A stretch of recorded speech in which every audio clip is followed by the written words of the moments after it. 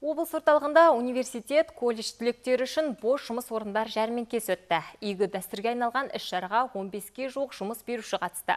Олар қолдарына енді ғана диплом алған жас мамандарға түрлі ұсыныс жасап, өз ұйымдарындағы еңбек шарттарымен таныстырды.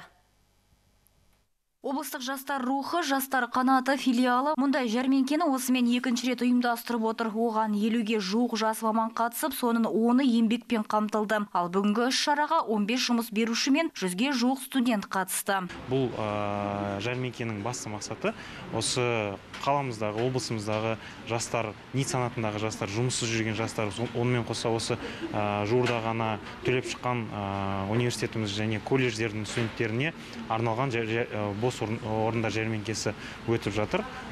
Бұл жәрмеңкеге 15-ке жуық ұйым өкілдері тартылды. Жәрмеңкеге қатысқан жұмыс берушілердің сөзіне қарағанда бүгінгі күні төтенше жағдай құрылыс және ауыл шаруашылығы саласында маман тапшы. Мәселен, Зиксто акционерлік қауымдастығы зауытында 280 адам еңбек етеді. Тағы қосымша онға жуық бос орын бар. Кәсіпорын өкілдерінің айтуынша, қолына білімі туралы құжатты енді ғана алған жас маманның бұл жердегі орташа еңбек ақысы 119 мың теңгені құрамақ.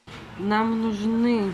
Ұжымға металл жонушы, электр жабдықтарының маманы, бас механик сынды жұмысшылар қажет. Жұмысқа орташа білімі бар колледжді енді ғана тәмамдаған жастарды ала береміз. Мұндай жәрмеңкеге бірінші рет қатыстық. Нәтижесі жаман емес. Ұжымымызда еңбек ететін мамандардың басым бөлігі жастар. Мұндай бос жұмыс орындар жәрмеңкелер ай сайын өткізілмек. Сонымен қатар жастар рухы, жастар қанатының мамандары жастарға түрлі тақырыпта ақыл кеңестермен бөлісіп, еліміздегі қыз жігіттерге жасалып жатқан жағдай туралы айтып, кездесулер өткізеді. Майгүл Сейілбек, Михаил Казначеев, жаңалықтар қызметі.